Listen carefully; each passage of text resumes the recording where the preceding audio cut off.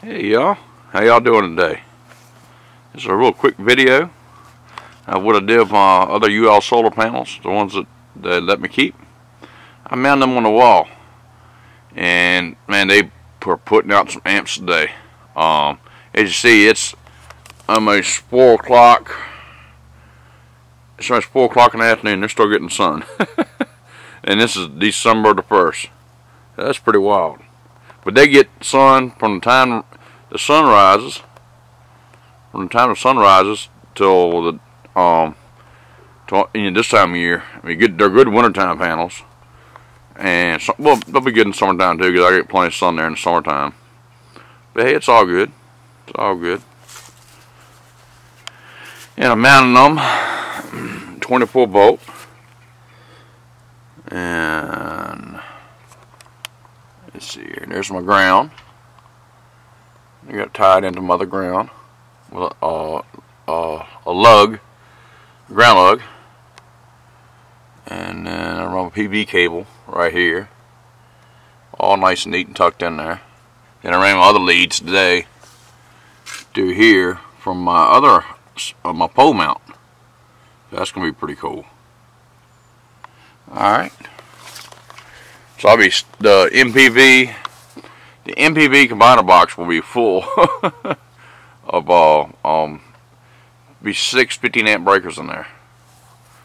So, but don't only it's, it's, it's, half that amount because it's only been 24 volt. Only be like seven amps a piece. So six 15 amp, six seven amps will be six on seven 40, 42 amps. I'll be, be putting out. And this is what I got done today. I got my I got my concrete poured yesterday. There's my pole, and there's my uh, Liquatite.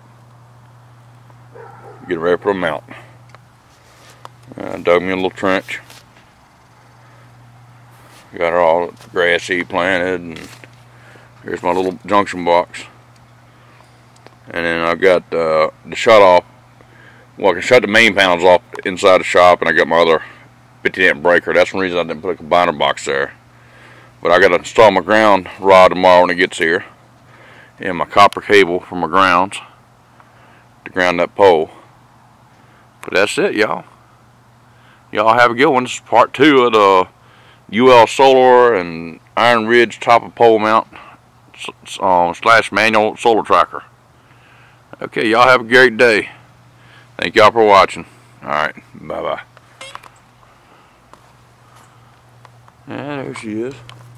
Oh yeah, I don't mind people buying my videos or you know using them for showing purposes, but don't don't steal one of my videos. That's wrong. That's copyright infringement. I had somebody do that to me the other day on my wind turbines and my my setup. So beware. I'm looking out for people like that. Just letting y'all know. All right, y'all have a great day. All right, bye bye.